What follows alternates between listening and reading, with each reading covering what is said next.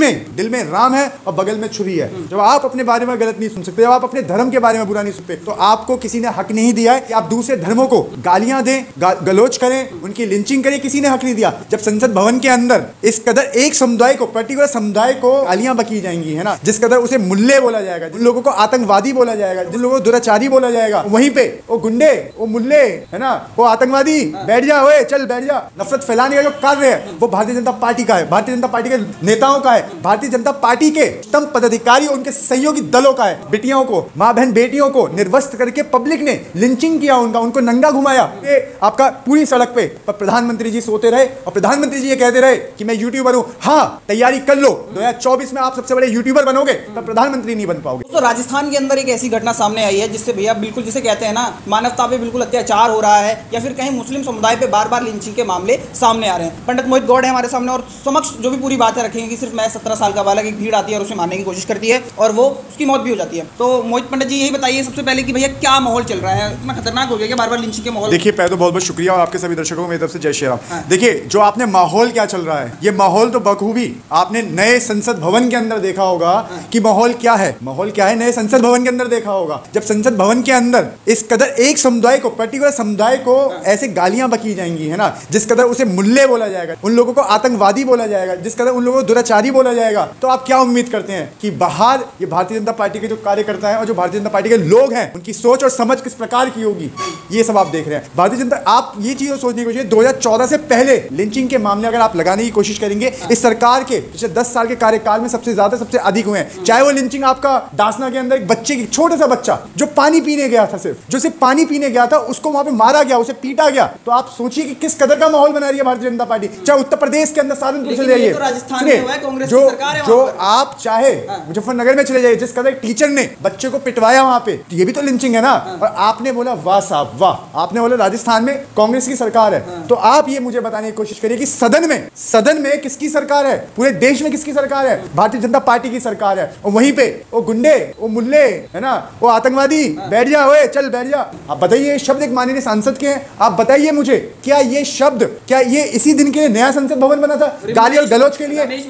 प्रधानमंत्री का अपमान कर रहे थे अरे सुनिए है। अच्छा लाइव टीवी पे हर चीज़ चल रही थी पूरी डिबेट चल रही थी चल रही थी नहीं चल रही थी। कब किस टाइम प्रधानमंत्री का अपमान किया? दूसरी बात आप मुझे बताने की कोशिश करिए कि जिनकी मानसिकता इस कदर की है जिनकी मानसिकता इस कदर की है तो उनके जो लोग हैं उनके जो अनुयायी हैं उनके जो कार्यकर्ता हैं उनके जो पदाधिकारी हैं है ना वो सब इसी नफरत भरी भाषा भाषा के साथ नफरत फिली हरकतों के साथ इस देश के अंदर घूमने का तो यही राम राज्य है। बोला जाता है कि भैया भगवा आएगा सब अच्छा लहराएगा तो फिर यहाँ मुसलमानों को इस तरीके से पीड़ित किया जाएगा मारा जाएगा। देखिए आप ये मैं तो खुद कह रहा हूँ ये राम राज्य नहीं है। ये राम राज्य नहीं है। ये तो इन देश का दुर्भाग्य है कि देश की जो सत्ता है कुछ ऐसे आ, कुछ ऐसे तत्व के हाथ में लगी है कुछ ऐसे लोगों के हाथ में लग चुकी है जो जिनके दिल में दिल में राम है और बगल में छुरी है। दूसरा मैं एक बात कहना चाहूँगा देखिए आप किसी भी समुदाय को जब आप अपने बारे में गलत नहीं सुन सकते जब आप अपने धर्म के बारे में बुरा नहीं सुनते तो आपको किसी ने हक नहीं दिया है कि आप दूसरे धर्मों को गालियाँ दें गा, गलोच करें उनकी लिंचिंग करें किसी ने हक नहीं दिया। दूसरी तरफ़ मैं मजबूरन फिर मैं एक बार बोलना चाहूँगा कि अब तक भारतीय जनता पार्टी कहती है कि सबका साथ सबका विकास।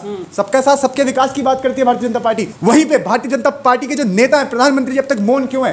बीजेपी ने अब तक रमेश बिधुड़िया को अब तक इस्तीफा क्यों नहीं दिया? क्यों नहीं दिया उसको इस्तीफा? क्यों? अब सदन सुनिए अब सदन के अंदर सदन के अंदर आम आदमी पार्टी के सांसद थे संजय सिंह जी। संजय सिंह जी सिर्फ़ खड़े होकर सवाल ही तो कर रहे थे। निष्कासित वहीं पे गाली गलोच करने वाला सांसद उसको अब तक निष्कासित क्यों नहीं किया क्यों नहीं किया के मामले इतने क्यों बढ़ रहे हैं? मैं कह रहा हूँ जब सदन के अंदर बैठ के टीवी पे जब जनता डिबेट देखेगी जब सदन के अंदर जो चर्चाएँ जहाँ से बिल पारित होते हैं लोकतंत्र का खूबसूरत मंदिर जो होता है वहाँ से जब ऐसे संदेश जाएँगे ग्राउंड लेवल पे तो आपको आपको हकीकत दिख रही होगी फिर क्या होगा? आप आपको दिख रहा होगा सब हो रहा है। राजस्थान में सब कुछ दिख रहा है आपको। सरकार का देखिए है। देखिए उसके बाद उनकी गिरफ्तारी भी हुई इन लोगों की। हाँ। सरकार का काम होता है मुजरिमों को पकड़ के जेल के अंदर डालना।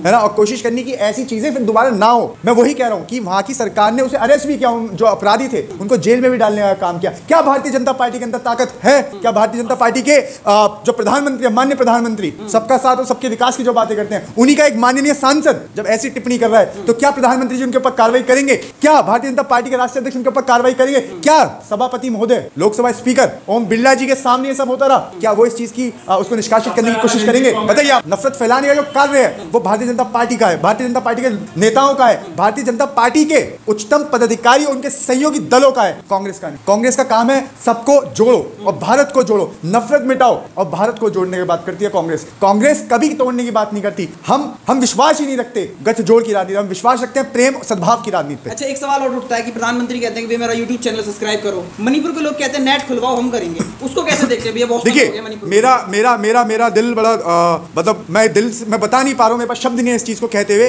कि मध्य प्रदेश के अंदर 12 साल की बच्ची, एक 12 साल की बिटिया, सोच के देखिए, उसका रेप हुआ। वो निवस्त रोड पे घूमती रही, चिल्लाती रही और वहीं पे प्रधानमंत्री सेम दिन सेम दिन प्रधानमंत्री जी अपने आप को सबसे बड़ा यूट्यूबर बता रहे हैं। तो हाँ प्रधानमंत्री जी, आपको सत्ता की कुर्सी छोड़ देनी चाहिए और आपको यूट्यूबर बन जाना चाहिए और आपको ज़रूरत है क्योंकि आप मोर नचाते हो, आप कभी मोर नचाते हो, कभी आप आप जंगल में वाइल्ड सफारी करने चले जाते हो। अब तो अब तो आप यूट्यूबर बन गए। वहाँ पे एक बच्ची निर्वस्त्र घूम रही है, खूनी, खून में लथपथ होके रेप महिला बच्ची घूम रही है। वहीं पे मणिपुर के अंदर बेटियों को माँ बहन बेटियों को निर्वस्त्र करके पब्लिक ने लिंचिंग किया उनका उनको नंगा घुमाया। पूरे आपका पूरी सड़क पे पर प्रधानमंत्री जी सोते रहे और प्रधानमंत्री जी ये कहते रहे कि मैं यूट्यूबर हूँ। हाँ तैयारी कर लो। 2024 में आप सबसे बड़े यूट्यूबर बनोगे पर प्रधानमंत्री नहीं बन पाओगे। जी। प्रधानमंत्री नहीं बन पाओगे। सवाल वही मणिपुर को क्यों बार बार अनदेखा करा जा रहा है? कहा जा रहा है कि भैया शांत अशांत प्रदेश है छह महीने के लिए अशांत प्रदेश है। देखिए ये शर्म की बात है सुनिए शर्म की बात है। सदन के अंदर स्मृति ईरानी को, सदन के अंदर स्मृति ईरानी को